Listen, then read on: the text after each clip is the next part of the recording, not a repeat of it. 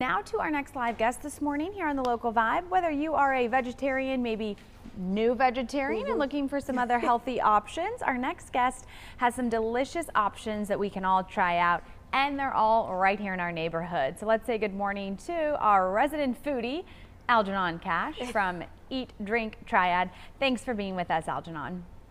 Hey, good morning. Good morning. So first off, I know that you were kind of getting into the field of vegetarian, kind of vegan, you know, that whole world of other flair of Yeah. food. What what kind of made you start getting into this? Can you hear us? I can now. Yeah, there we go. Oh, okay. Okay, I'll ask again. What um kind of got you going into wanting to start out trying some vegetarian, vegan options out there in our area? Well, you, you know, Audrey, I just wanted to live, and you, you know, I, I Algernon, can you still hear us? We may have lost your right- Zoom.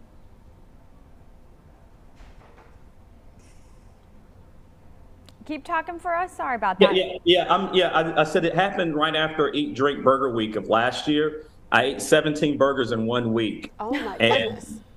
And I, I decided that I, I needed to do something to start reducing the meat in my diet.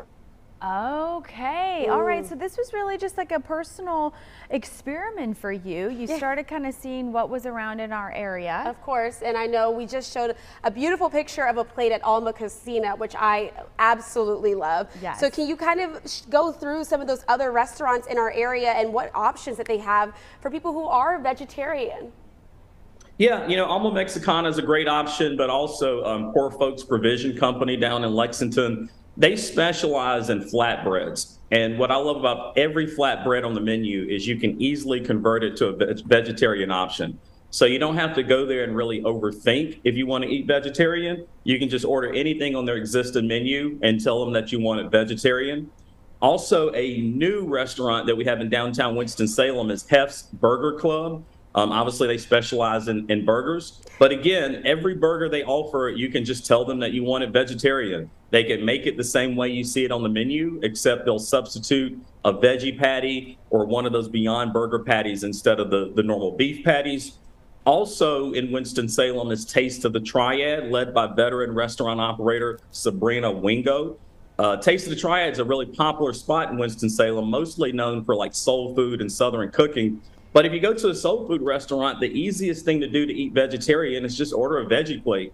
Um, normally, I'll go with like some pinto beans, macaroni and cheese, and maybe collard greens. And then last but not least is Young Cardinal Cafe, which is a breakfast spot in downtown Winston-Salem, ran by Chef Adam Andrews. I'm a huge fan of Huevos Rancheros, and you can order it there and just order it with the vegetarian option. They'll take off the pulled pork and substitute it with black beans. Oh, these photos look to die for that we're showing from these uh, restaurants' uh, social media pages. Algernon, back to Hef's Burger Bar. You said that's recently new. Where is that? That is on 4th Street um, Okay. in the former um, Mystic Ginger restaurant location right next to um, Tate's Craft Cocktails. Okay, great. Glad that you were able to highlight them. They look, all those options look incredible, Algernon. Yeah. And of course, a, that's one of those times when Restaurant Week, you just mentioned 17 burgers in one week. It's coming up again, I'm su- sure, soon. So as you're preparing, what can you sort of give us a sneak peek and talk about? Yeah, October 24th through the 30th is Eat Drink Restaurant Week. We'll be focused mostly in Forsyth, Davidson, and Davidson County. What I can tell you is we have 30 restaurants signed up to participate and showcase. Wow. And they're going to showcase across 12 different categories. Um, because I love Audrey, I made sure I added a wing category.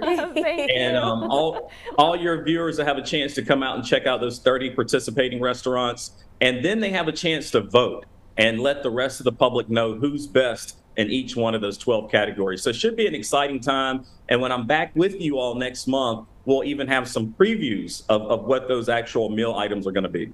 Well, Algernon, does that preview include some food in our studio? Because that's the one thing that I am mostly looking forward to.